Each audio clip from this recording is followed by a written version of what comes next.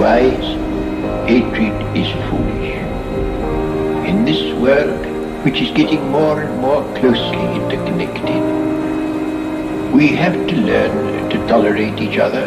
We have to learn to put up with the fact that some people say things that we don't like. We can only live together in that way. And if we are to live together and not die together, we must learn a kind of charity and kind of tolerance, which is absolutely vital to the continuation of human life on this planet.